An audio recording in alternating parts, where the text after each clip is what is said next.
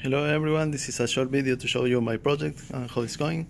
So um, this is a system that is running YOLO to detect HUD, uh, vest and persons. So the idea of this project is to be used in construction sites to detect whether the workers are wearing or not the PPEs. So the system is running a neural network called YOLO on a Raspberry Pi, but the inference is being done in the in a neural compute stick from Intel that has a Movidius uh, VPU on it. So I have trained the network with a custom dataset, and as you can see, my results are impressive. I think they are very good.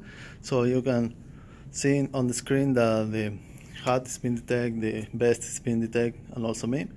So if I take the HUD out, it will detect that the worker is not wearing the appropriate PPEs because they need the hat as well. So if I put the hat back,